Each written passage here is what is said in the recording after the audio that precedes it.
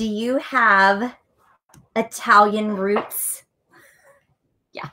Yeah, me me neither. Um, but you and I, we both love the food, right? The problem is getting it to be simple in the kitchen and yummy so it's a win-win for everyone, right? Bringing Italian food into the into the mix, right?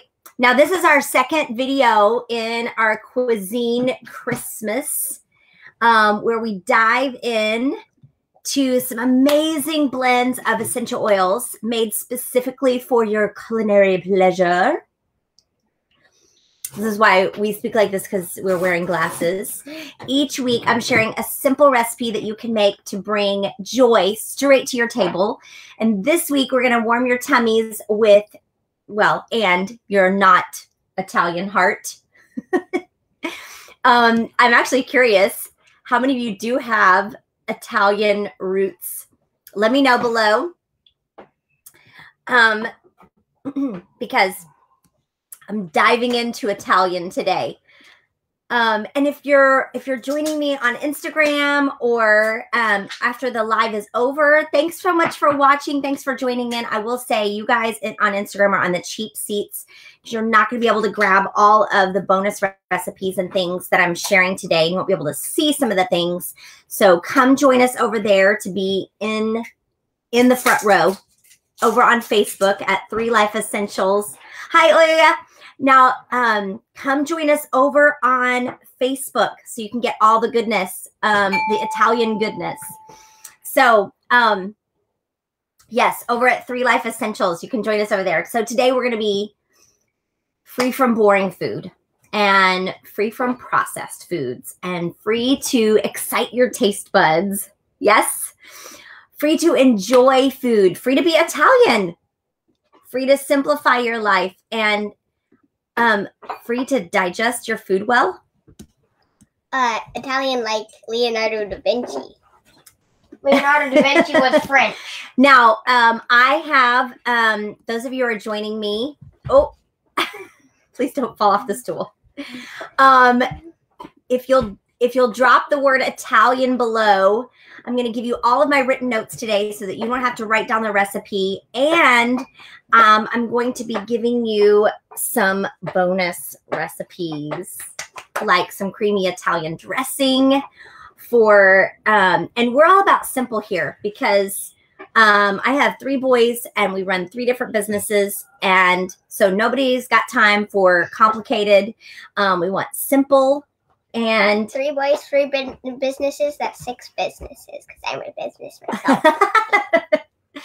and there you go. That's six businesses according to to him. Okay. According to him, and to them, Not uh, him. we're hard. Uh, we're uh hard to have. Whatever that is. Hard to that handle. means. Hard to handle. Now, don't keep this information to yourself. Um, if this topic resonates with you, hit those buttons. Let me know how you feel about them. And I know you have a few friends who would benefit from this. So if you want to take a moment and tell them about that, go ahead. Where'd my water go? Here we go. Now, my name is Amy Miller. If you're new to joining me, and this is my lovely assistant. You want to wave? Hey. And hi, you can't see me. and over here. I'm a wellness advocate and a business coach, and I help fellow SLPs and therapists in private practice make a bigger impact in the lives of their patients and set their business apart from all the others and provide patients with solutions that address issues rather than just putting band aids on problems. And we do that using our signature Spark method via our growth mindset coaching. And part of our mindset today and this month is really bringing bringing the holidays and lots of really yummy flavors into the holidays.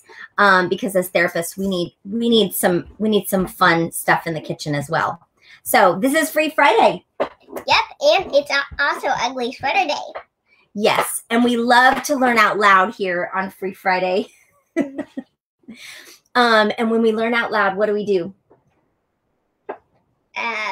you wear ugly sweaters on Ugly Sweater Day? No, we use the hashtag Free Friday, and you share whatever is freeing your mind, whatever new nugget is, whatever idea you want to hold on to.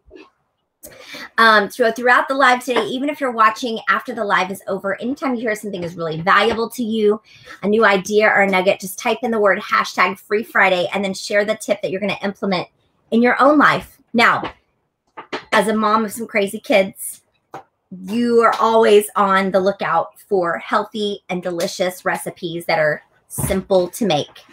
Measuring out unusual spices isn't hard, but it would be nice for an easy way to add some amazing flavor to your food without having to be this professional level with exotic ingredients, right? In other words, you want it to be simple.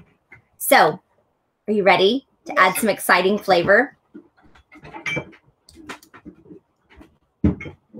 Yes. Oh, yes. See, Miss Denise is telling you hard to handle. Yes. Um, um, that's what you say. She would know. yes. Thanks for sharing. Um, drop in that word Italian, and I will give you all the written notes and some really cool bonus recipes. I'm going to tell you what some of those bonus recipes And, are and today. simple, But as in only five ingredients. Or six. Yeah. So let me show you really quickly. This is the oil blend that I'm going to be showing you today. Let me move some of this stuff around here. So the blend here on the far right is our new, um, where did it go? Right here. Right here.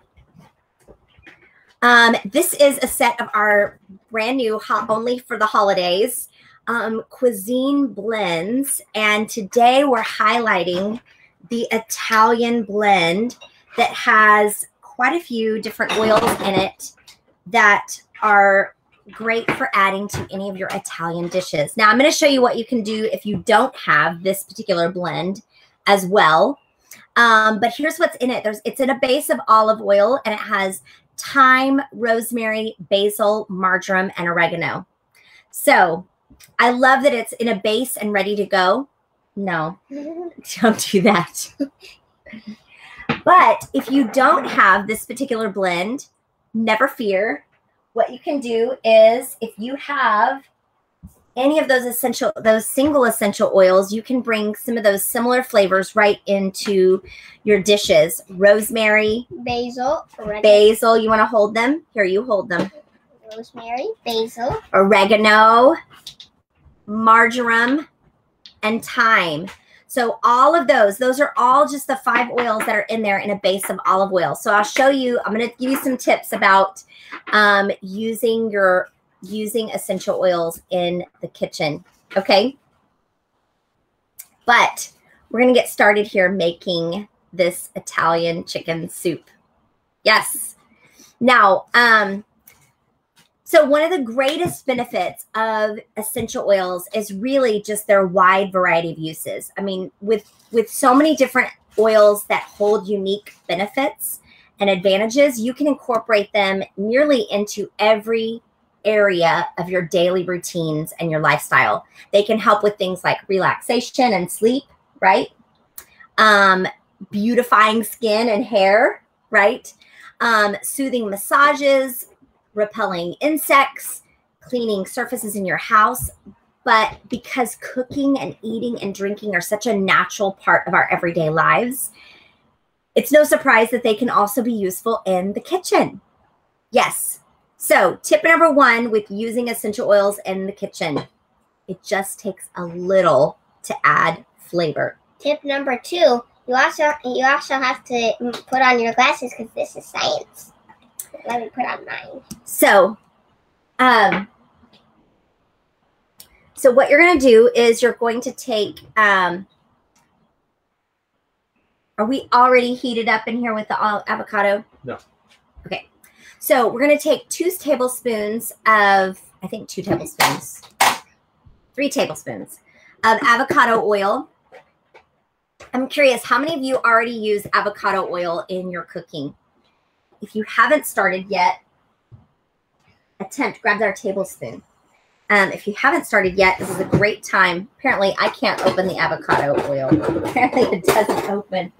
Um, we're going to add in three tablespoons of avocado oil, and you're going to put that until um, until it kind of starts to shimmer. And then you're going to add in um, two tablespoons of minced garlic. You just pour that in. All right, so just pour that in because that's about three tablespoons. Okay, the whole Cover the no. Cover the bottom. Oh, just cover the bottom. All right. So you're going to add in your minced garlic, um, two tablespoons of that. So I'm going to use this. All right. And then you're going to add in, um, yeah, so you're going to add in your garlic and let that simmer. Um, and then you're going to add in celery, bell pepper, and onions to the pot. Okay. So two celery stalks diced, one bell pepper, and one onion diced up that you're going to add in. Okay. Hey. So approximately six cloves of garlic. Want me to put that in? Half a teaspoon is one clove. So, so So six would be two of these. Nope. One of them. That's that's it right there. oh, that's it. Wait, One need tablespoon. Yeah. Put that in there. Oh, okay. All right, so you're going to do all those things. Now, let me give you a tip. Essential oils, you just need a little bit, goes a long way. So, we're going to use very little um, in this because they're super concentrated. So, if you're using your single oils, you're not going to use a drop of each of those. You're actually going to start with a toothpick amount. So, you're literally going to have a toothpick that you dip in there and you can swirl it around in your dish um, near the end because you don't want to heat them up. So I'm going to give you another little tip. Essential oils actually also have internal benefits. So depending upon the oil, they can actually help with digestion. They can help cleanse the body. They can help give your body antioxidants and a whole lot more. So, yes. Okay, some of the other recipes that I'm going to be giving you. Okay, that's looking great. So now we're going to add in our celery and our bell pepper. So we're going to add those into the mix. Watch out.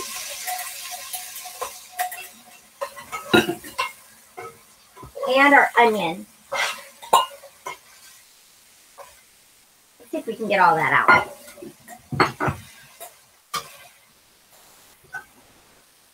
Can you guys see any of this that we're doing here? Yeah, it's starting to look really great.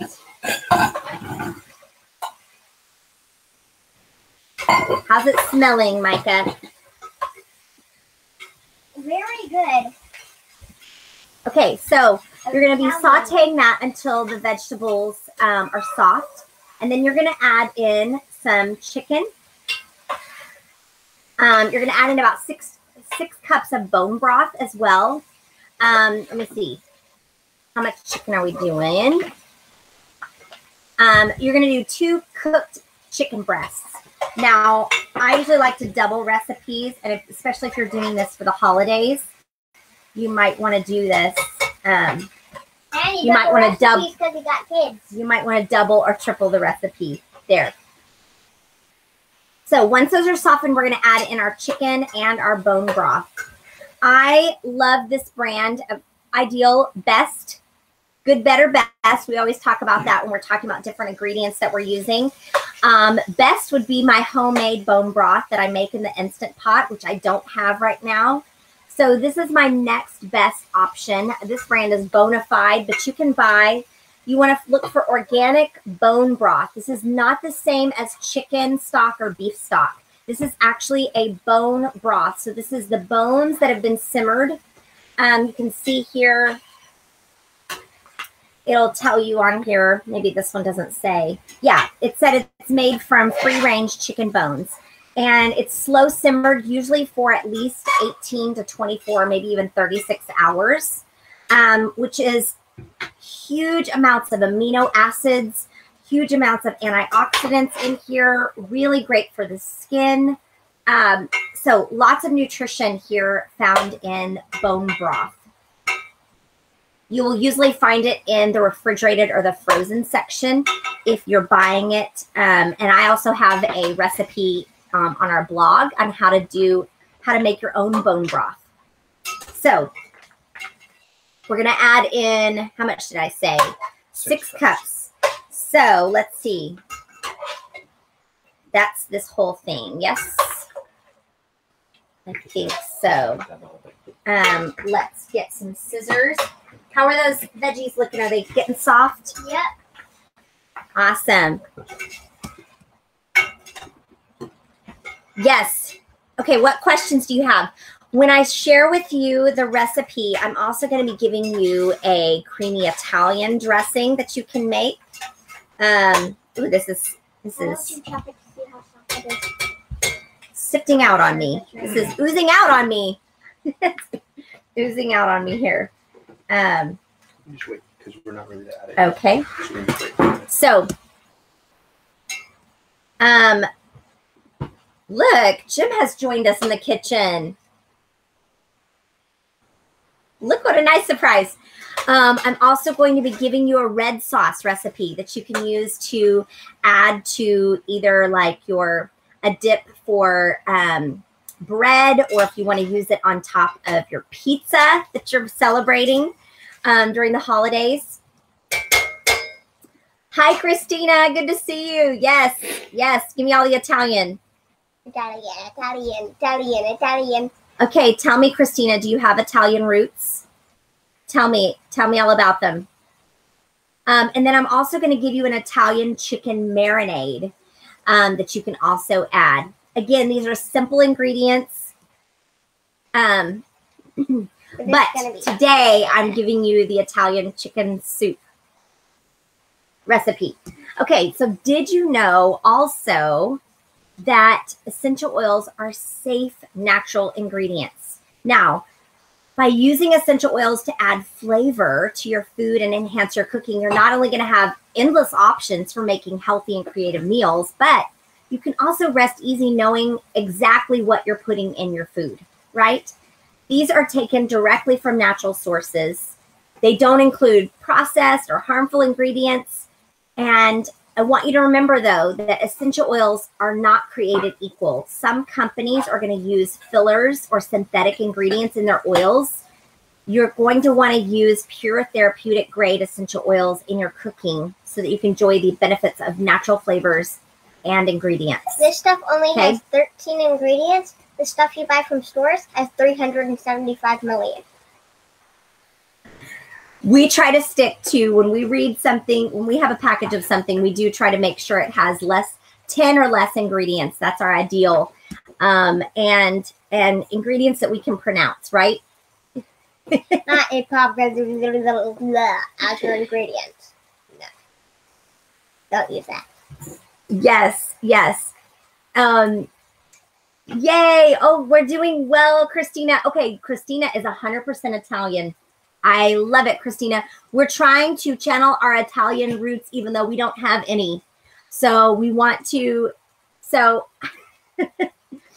Yeah, no Italian roots here. Well, and yes, of course. So do you how do you uh, Christina, I'm wondering with you having Italian roots, how do you bring Italian into your meals or your um or your family traditions and things at during the holidays? We'd love to hear.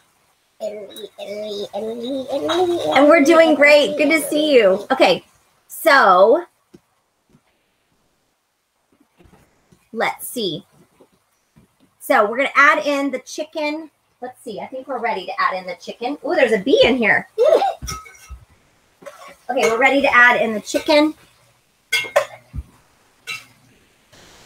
I'm gonna add in the chicken and the bone broth, and then we're gonna add in four Roma tomatoes. This is where you want to you want to for sure be using organic because tomatoes have a tendency to be part of that dirty dozen, and so you don't want to be including those pesticides. If you're going to be pure with your essential oils, be pure with your food as well. So we're going to add in um, chicken, bone broth, and tomatoes to this, and then we're going to let it simmer.